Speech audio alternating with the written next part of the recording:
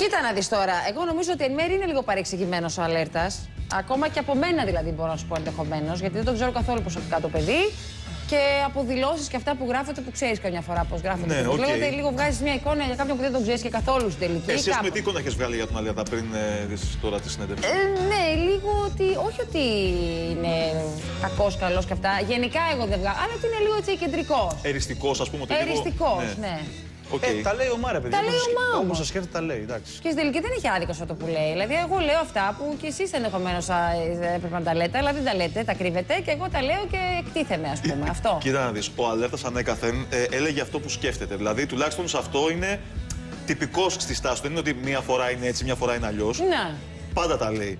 Τώρα, βέβαια, από την άλλη, δεν μπορείς να μου σχολιάσεις και δηλώσεις ε, τύπου Ferrari. Τι έχει κάνει, Αναγκαστικά αυτό και με ο την πιο- Ferrari τι είναι που λες. Ρε παιδί μου, η Ferrari του Αλέρτα, όλοι έχουμε από μία Ferrari. Η δικιά μου μπορεί να είναι άλλη μάρκα. Όλα τα αγοράκια έχουμε από μία Ferrari. Όλα τα από ένα- αγοράκια από ένα έχουν μια αυτοκίνητο, θέλει να πει ο Δημητρής. Το αυτοκίνητο εννοούσε ή κάτι Δεν άλλο. εννοώ, όχι τώρα, θα μου όχι αυτοκίνητο, μιλάμε τώρα. Είναι το.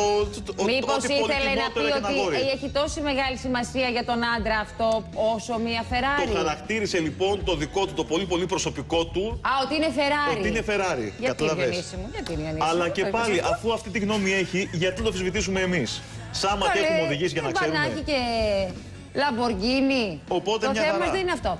Πείτε μου τι έχει πει για τους μάγειρες και όλοι οι μάγειρες έχουν πρόβλημα με τον Διονύση Αλέρτα. Δεν είπε για τους μάγειρες. Όπως εξήγησε και στο βίντεο προηγουμένως, Ναι. είχε γίνει μια πρόταση να γίνει μια φωτογράφηση στο μαγαζί του Ναι. με τον Άκη Πετρετζίκη όμως ως πρωταγωνιστή. Ναι. Εκεί πάρα πολύ λογικά, αν ρωτάς τη γνώμη μου, Ναι. αντέδρασε ο Αλέρτας. Γιατί; Και έκανε... Γιατί τώρα αν είσαι ε, pastry chef, Ναι. έχεις ένα μαγαζί δικό σου στο Ο όνομά σου. Πετεζίκη δεν είναι pastry chef. Ναι, αλλά θα έκανε φωτογράφηση για ζαχαροπλαστική στο μαγαζί αυτό. Α. Και φωνάζεις κάποιον άλλον, όσο καλή σχέση και όσο και να τον εκτιμάς. Ε, δεν σε χτυπάει λίγο. Δηλαδή, έρχονται εδώ πέρα στο πλατό του εδώ Ναι. και θα κάνουν φωτογράφηση με τη Σία Κοσιόνι, να σου φέρω για παράδειγμα. που είναι Κανένα και δικιά μας. πρόβλημα. Κάνα δεν πρόβλημα. θα Κάνουμε είχαμε. τη διαφήμιση Ναι, στο ρε παιδί μαγαζί μου, μας. σου λέω τώρα εγώ ένα όνομα τυχαίο.